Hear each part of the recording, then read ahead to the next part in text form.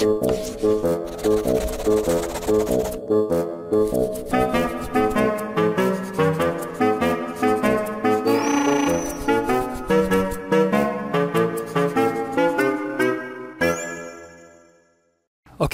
so good afternoon, and thanks for coming here. Thanks for choosing this course, Introduction to Psychology. So if you go to this course, supposedly you can see here, 课程纲要, huh? Let's switch to an English English version because this is English medium course. Because this is English medium course, so everything is going to be lectured and administered in English. And for you, for course participants, you must have an adequate level of English listening, reading, and writing. For listening, of course, because you have to listen to my lecture, so of course you have to be able to listen to English.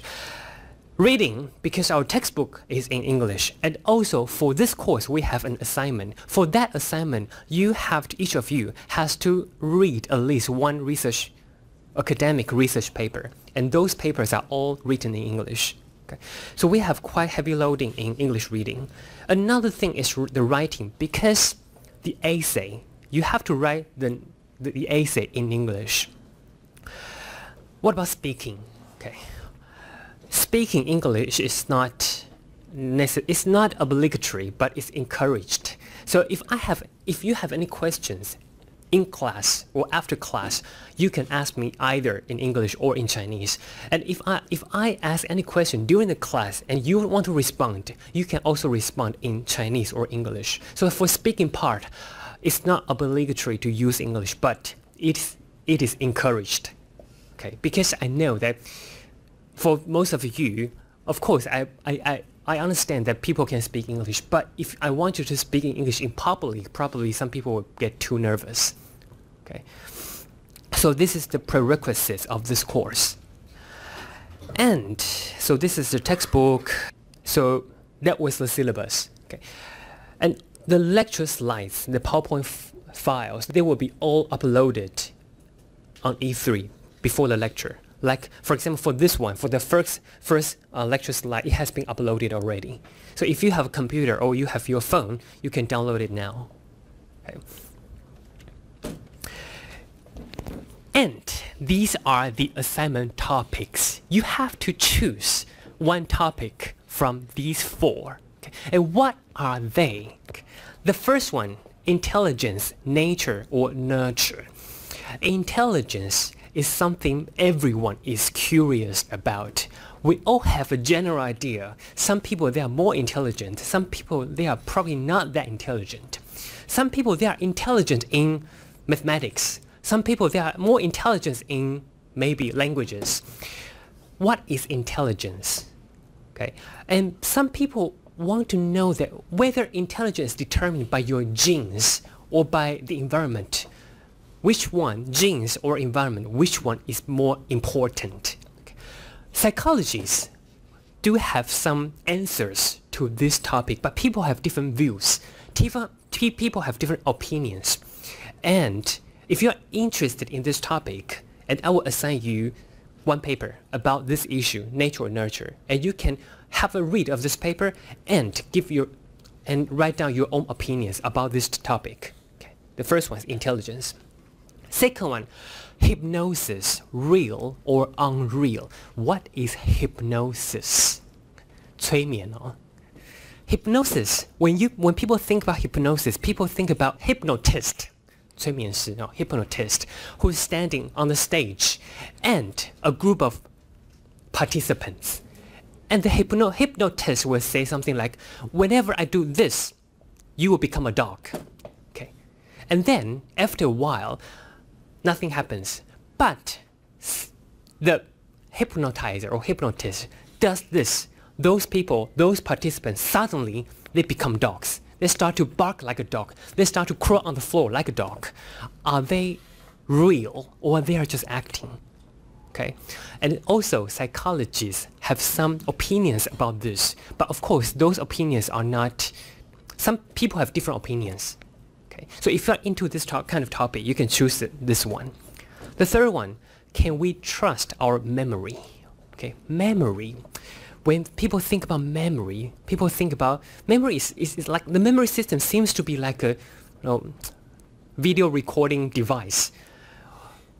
Whenever we hear something, we see something, it becomes our memory. Okay, so memory supposedly should be real, but is it? Does it have to be real? Okay. Actually, psychologists have found some evidence suggesting that human memory could be somehow created or overwritten. Okay, there are some memories, actually they don't exist, but because of some technique, they become exist. So memory, can we really trust our memory? Okay, this is the third topic. The final one is not that, the final one is more counterintuitive. Humans, angels, evils, or both. What does it mean? This is something to do with um, social psychology. What is social psychology? Social psychology studies how humans behave and think when they, whenever they are in different environment. You can probably you can't really understand this, but you can think about there are some religious, very radical religious or political groups. Okay? If you talk to every single individual in that group, you wouldn't find anything wrong. You might find this person is a nice person. It's really easy to hang out with. But why does this person belong to such a radical, extreme religious or political group? And they do many radical and extreme things in that group. Although if you are interacting with one single person, you don't find anything wrong. But if you hear what that person does in the past or now, you might be surprised. So it, it is kind of puzzling thing that how come a, the same person he would do such a different such different things in different contexts. Sometimes the same person could be an angel. Sometimes the same person could suddenly be turned to an evil. So are we, do we really have our own free will? I mean, do we have to really decide what we want to do? Or we are just kind of the tool, we are just like the puppet controlled by the environment or controlled by some, someone, uh, someone else. Psychologists have done some research about this topic and there have been some interesting findings. So if you're in, into this kind of topic, you should choose the final one. And of course, for each topic, I will assign you one or two research papers. So you don't have to write the essay from nothing. You have to write this essay from those uh, academic papers that I assign. Okay, so this is the assignment. Okay. And next week, we are going to spend more time on how to write a good assignment. Okay. So, and next week I will assign one or two scientific papers for each topic. I don't do this this I don't do this this week. It's because there will be some other new people coming into the class next week. So I'm going to do everything together next week. Okay. And the due is on the 6th of May, midnight.